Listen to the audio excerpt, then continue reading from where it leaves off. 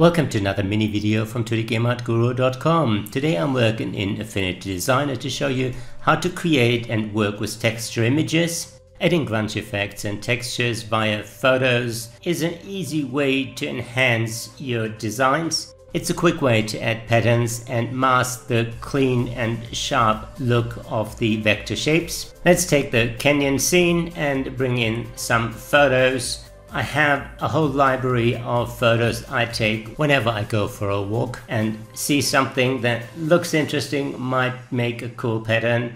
Some of them I've already enhanced in Affinity Photo. I took photos of rocks, pavement, patterns in the sand, anything that has a strong enough contrast, nice lines, interesting cracks, or great colors when mixing your photos with the design, it helps to have an either white or black background so that those colors can be filtered out by the layer blend modes. Multiply would hide the white while screen would hide the black. Let's take one of the close-up photos of a rock texture, drag it into the scene. You can also copy and paste or use the file merge to import the image. It will be an embedded object, that way we can easily replace it. At the top of the menu it gives me the name, the size and the option to replace it. I take the photo and drag it inside the rock shape.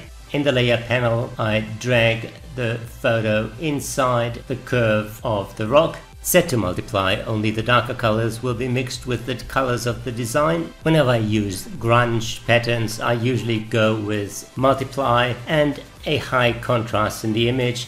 This one still has a lot of gray in it, so I start by adjusting the curves. At the bottom of the layer panel, I choose an adjustment layer the tone curve can be adjusted for the whites on the right side and the darks on the left side.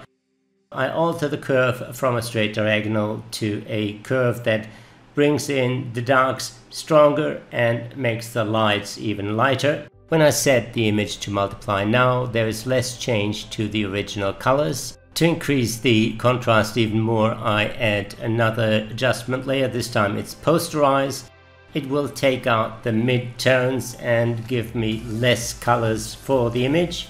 The big advantage of dealing with the adjustment layer straight in Affinity Designer is everything can be changed and altered. I can change the settings of the posterize and see what happens if I reduce the number even further. I get a rather strong pattern, a little higher and it's a little softer so I'll stick with that and then add an HSL adjustment layer on top of that to take out all the color. This is done by shifting the saturation all the way to the left. When I compare the before and after, it's quite obvious that there's a lot less detail and a lot more contrast in the new version, which is exactly what we need in order not to change the original colors too much by setting this one back to multiply and reducing the opacity. The result is not quite what I was after. This texture looks more like marble or granite, while the lines go horizontally, so it's not really the right pattern for that, but I'll just use it on the ground, see what happens there. I cut it and place it inside drag it inside in the layer panel so it is clipped inside there and give it a transparent gradient. Set it to overlay rather than multiply. This way the white comes into play as well and changes my base color a little bit. By squashing and using the transparent gradient, I hide the fact that the texture does not have any perspective deformation.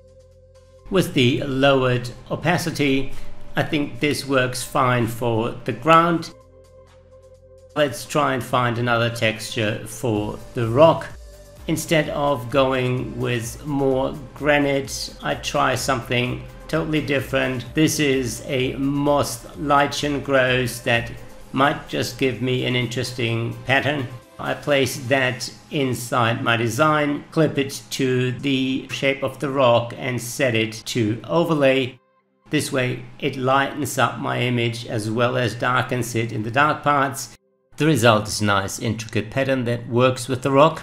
I adjust the vector shapes, their opacity is a little too low to stand out and look for a second material that I can put onto the rock, something that goes with the lines. Let's use this photo of a paperbark tree.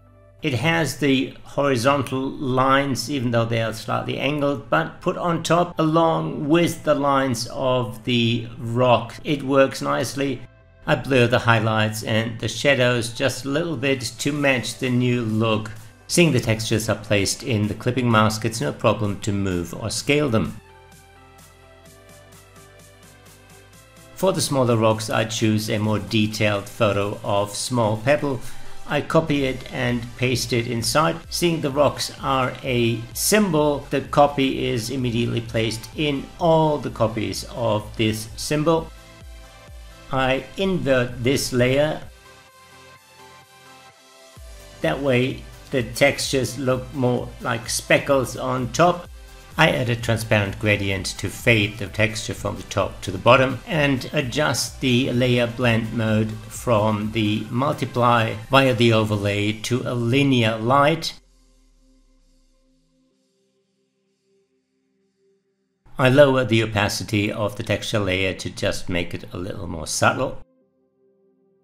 I copy the texture and place it into the other rocks. They are symbols as well, so nearly all my rocks should be covered now. I reposition it slightly, adjust the transparent gradient, and then move on to the skull. I use the same pattern on this one, just position it inside a shape I created prior it is a boolean add of all the shapes that make up the skull. It's basically a silhouette with no fill and no stroke and I place the texture inside of this one.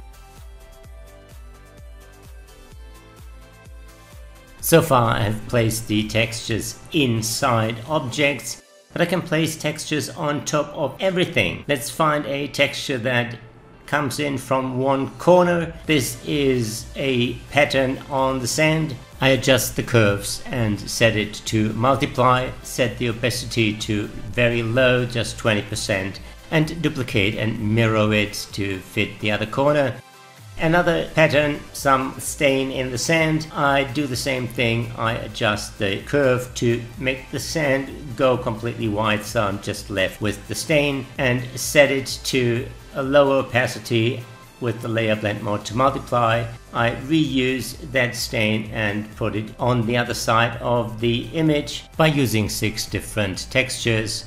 I transformed the image from a plain vector design to something that looks a lot richer, a lot more detailed.